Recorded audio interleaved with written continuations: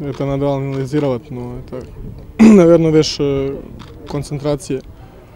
На концу можно сказать, что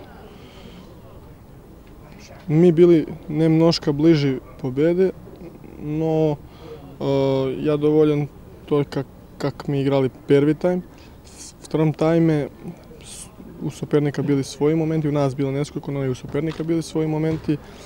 Е, так, на концу не можем biti довольni одним очком, но опять не пропустили гол, не проиграли. Продолжаем дальше. Жаль, что мы не забили гол из этих моментов, прежде всего в первом тайме.